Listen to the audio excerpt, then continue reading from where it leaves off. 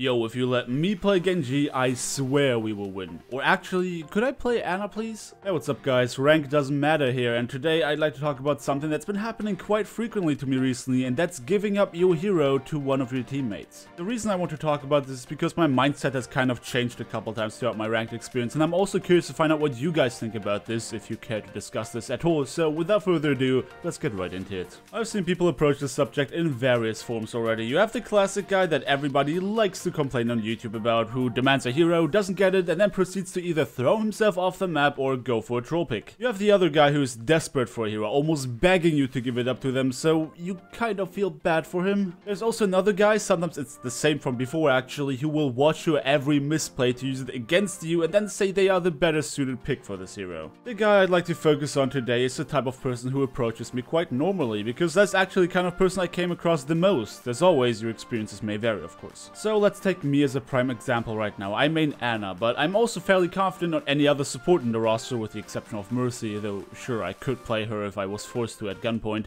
Generally speaking, support isn't a role that people start to fight over, it's more about the soldiers, the Genjis, the Roadhogs than anything else. But every so often I will come across a player who asks me if he can play Ana when I have already locked her. Thank you, Solid State Drive. I used to be very hesitant. Back in Season 2 when I played in Platinum, I would rarely ever drop Ana or Zenyatta because those were my strongest heroes and I saw the biggest chances for me to get out of Platinum by playing those, and as it turned out that was exactly the case. So my usual response was something along the lines of, sorry, it's my strongest hero, and most people will be quite understanding of that. Recently I've been playing a lot with my friend who's in Masters. With my bouncy SL 3.3k to 3.4k SR and his 3.7-ish, we usually hover around a team SR of 3.5k. The first few times I played in Masters SR, I was actually quite intimidated. I thought, alright, those guys have a high rank than me, if somebody asks for a hero, I'll drop them. The reason I dropped Ana so willingly to a Masters player asking was because for one thing, again, they had a higher rank than me, and for another, the first game I played as Ana in Masters SR was unlike anything I had ever come across in Diamond, let alone Platinum. I want to gather some more experience in this SR, but once that is done, I will be making a video dedicated to my experiences, so stay tuned for that. But let me tell you this much, that match was stressful, very stressful in fact, and required me to change my playstyle quite significantly. It took me quite a bit of time, and my friend telling me to get the heck back on Ana to realize how am I ever gonna be able to play Ana in Masters if I never practice Ana in Masters. If playing this SR requires a different playstyle, then I have to practice and adapt. So I shied away from Lucio instalocks and went back to my mains to get that experience and training that I need. But well, you guessed it, it happened again. People asked me if they can play Ana, and this is where I started to do things slightly differently. Before replying at all, I checked how many hours they had on her and which heroes they usually play. If they had a lot of playtime, even if that was less than mine, I would drop her disregarding the rank.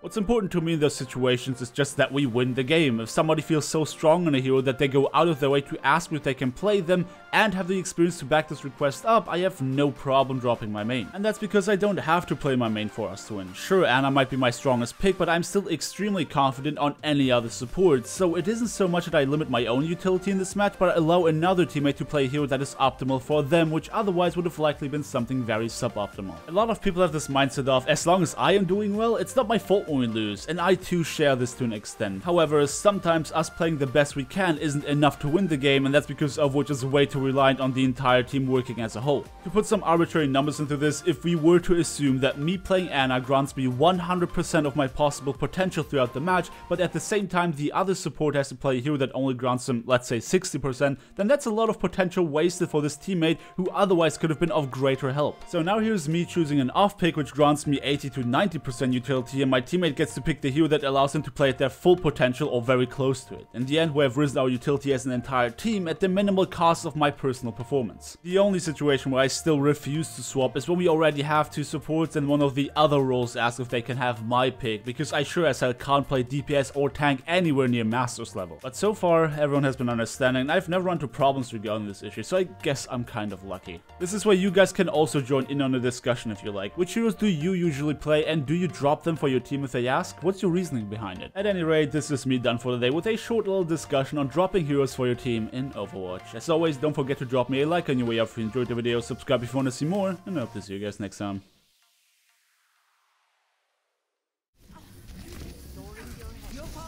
You mess him up. Oh, fuck's sake. I should have kept it for the Genji. Oh no. Oh yes. Holy shit. Alright. The team did things. I'm happy.